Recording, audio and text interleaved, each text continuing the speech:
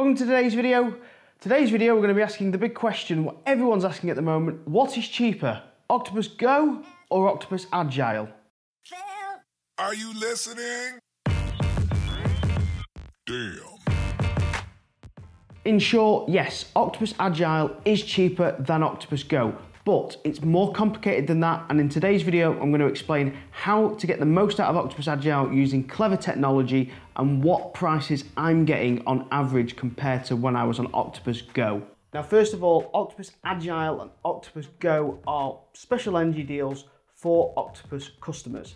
If you want to become an Octopus customer at any point during this video, skip right to the front of this video where this is. The code is at the bottom of this video here, and it's also displayed below in the description. When signing up to Octopus, you will get a £50 referral bonus, and to become a Go or Agile customer, you need to have two things. First of all, you need to be an Octopus customer. Second of all, you'll need a smart meter that works with Octopus and that's how they take these half an hour readings to work out these special rates. The smart meters that work with them are any SMET 2 meters will work with Octopus Go and Agile, or a SMET 1 meter that's branded secure like the one I have at my house. Now if you're already familiar with what Go is you can skip ahead a couple of seconds but if you're not, Go is a fixed tariff which fixes for four hours of cheap electricity at 5p per kilowatt hour. So that's one octopus tariff and the peak on that is 14p. Agile is a lot cleverer. Agile uses half an hour meter readings and uses the wholesale rate from the day before at 4 p.m. of closing of business. So every day, the energy prices on the wholesale network change every 30 minutes and Octopus give these figures back to you at a fixed cost every day setting out set calculations displayed on their website. And this means that you are paying what they pay for electricity at 4 p.m. plus a little bit of cost. Now prices, because of wholesale rates, can hit 35p per kilowatt, but that is a fixed cost off Octopus. They will not allow the price to go higher than that for you, the customer, on Agile. But at the same time, they can also go negative, which are called price plunges. On Octopus Go, I was averaging 8.17p per kilowatt hour unit rate because of charging at 5p at night and that was offsetting the 14p. So that seems like a really good price, 8p per kilowatt hour of your average total electricity costs. However, on Agile, my bills were averaging 7.97 per kilowatt hour. So I actually brought it under 8p, which you know seems great. But during the lockdown, we've had a lot, and I mean a lot of what we call plunge pricing, which is where prices go negative. Negative pricing means that Octopus will pay you to charge your electric car, use your dishwasher. Every single unit they use of electricity during these periods is paid for, which means my unit cost dropped to below six pence per kilowatt hour. And that is just unbelievably low for all my electricity costs. Now, if you really, really play the Agile game correctly, you will probably see costs lower and lower and lower than that. But I don't want to manipulate my figures too much because lockdown is super plunge pricing. So do not be in this sort of bubble that you're seeing all these plunge pricing and think it will last forever. We will see more plunge pricing as more renewable prices enter the market, but don't expect it to happen every three or four days like it's been happening during lockdown, but you will see more of it. Before I get any further into the video, please go and click that subscribe button down below and hit that notification bell. This will let you know every time I make a new video. I make videos about electric vehicles, the energy sector like this, and have interviews with inside experts. There's even an interview with the CEO of Octopus that I did a couple of weeks ago. So check that out if you are interested in learning more about Octopus as a company. He is one really refreshing refreshing CEO. Now, firstly, to understand plunge pricing properly, you need to understand what causes it. And the first thing that causes it is the national grid was built to deal with coal and build, you know, anything that burns things that can be turned on and off very reliably. That's what the national grid was designed around. Wind and solar are not so totally predictable. They are semi-predictable, but they, they're not perfectly predictable. And the problem with solar and wind, they don't necessarily happen at the time of high demand. And during low demand, wind tends to be very, very high. So during the middle of the night, you'll still get lots and lots of wind. And this is why you get ultra low negative prices because instead of paying that wind turbine to put its brakes on and turn off and not generate any power, which would cost them more money because that's the way energy works. Same with coal, same with nuclear. They're all paid a set price to be running uh, no matter what. It is cheaper to pay you to take that power off the grid. And Octopus just basically translate that price back to you as a customer. Because weirdly, prices, wholesale prices of electricity have been falling for years, but electricity prices to you, the consumer, have been going up year on year. Now you can just take advantage of these price plunging and lower prices, so below 5p, so cheaper than Octopus Go, if you want during just using your EV electric car. Or you can do what I do, which is take advantage of baking bread, for example. I've took up bread baking recently. You can also take advantage by putting your washing machine on, dishwasher, any electronics. If you've got a electric boiler, stuff like that, as much stuff as you can pile on. I mean, I know someone who hasn't got an EV and they switched over because they got storage heaters and other electrics and they've seen their price drop dramatically. Now this might seem like a lot of work and it is. And if you just want an easy, simple fix for four hour tariff then just go for Go.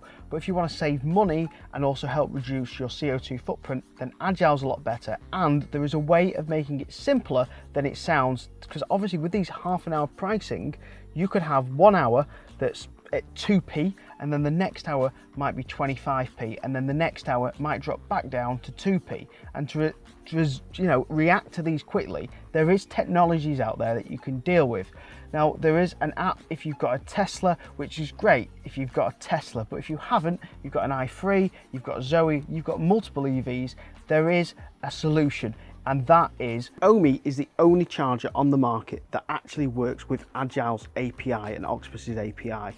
What this means is you log into the Ohme cable app with your Octopus login and it pulls all the half an hour data from Agile live, which means if the prices change over a half an hour, an hour period, this will charge charger will automatically turn your car off and on the charge thing. Now it works with other providers as well as Octopus and you can input your own tariff so you can even customize it if you only want it charged at a certain time because you know you're going to produce a lot of solar. So you can really mess around with the tariff data on the system. It's very, very clever.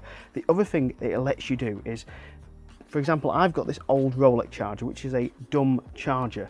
They sell it in an untethered version, so you can plug this untethered cable into your existing charger, tie wrap it around your old charger and plug it into your car and it will automatically deal with Agile.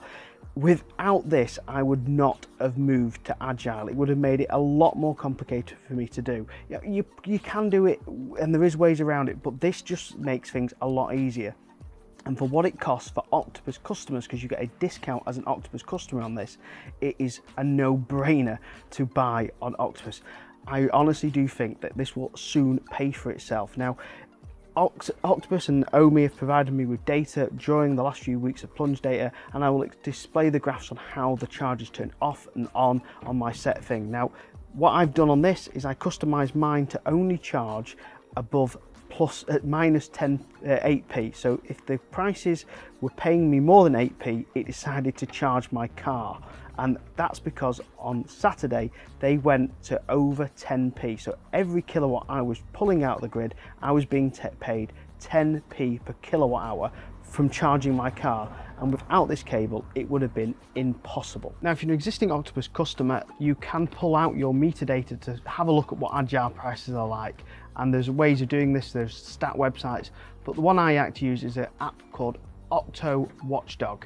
If you download that app, log into its API, it will show you all your Octopus data and all your meter readings based on what you would have paid if you were on Agile using those electricity uses right then.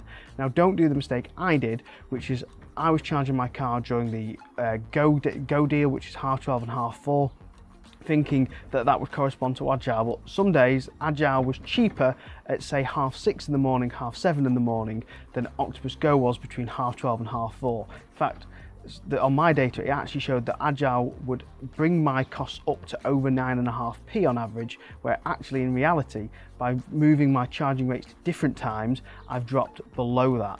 And that's because the way Agile works is it's all about when the power is available. So usually that power can be available at any time. If there's high wind pickup at half six in the morning till half nine in the morning, you will get cheaper than 5p per kilowatt hour at those times. Now there's another little app I like to use with Octopus Agile and that's called Octopus Watch. Now what Octopus Watch does is it lets you know the cheapest two or three or four or five hour period for however long you want to run a certain appliance for and it will give you the average best cost over that time period. So you know when to set dishwasher time timers for washing machines and stuff like that. So I use that app to set my dishwasher and my washing machine to work out the cheapest time to run those appliances. Now if you don't want to get an agile cable uh, so an Ohme cable for your Octopus Go then you can if you wanted to average the cheapest cost over a three or four hour period using the Octopus Watch app. But that is not the cheapest way of doing it because you might have a time slot in between those two which is unusually high, which happens a lot on Agile. But if that's what you want to do, you can do that. But I honestly, for the price they're charging for an Agile cable at the moment, I'd get one of them. So in summary, Agile for me is a lot cheaper than Go. And I also think it's cheaper than a certain three letter French company that have a lot of nuclear generators that are not that green, let's be honest, but they have a longer term cheap deal, which is about seven or eight hours. Now, if you're an EV driver that does an average of 50 to 80 miles a day, then you don't need longer than a four hour time window to charge your car. That is the important part. And the other thing is you need to look at what your usage is. You can do a simple Excel spreadsheet of working out how much that energy that you put in your electric car offsets the rest of your bill. You don't need longer periods. If the cheap rate, the small rate, the 5p on Octopus Go or the even lower 2, 1 and negative prices on, on Agile can be used fully, as much energy as you can stuff in your car, you will offset your peak dramatically. I have an electric oven. I cook on an electric oven and I've cooked during peak times when they've hit 25p and it has not affected my average price being less than go. And that is the important thing. Do not be scared by the peak because what you're using in an electric oven, which is what I thought, I thought the electric oven would use loads, but it doesn't use that much. You're only going to be running your oven for an hour. You might be charging your electric car for four hours at a much, much lower rate.